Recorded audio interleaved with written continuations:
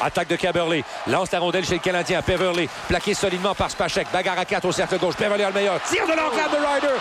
Bel arrêt de Carey Price.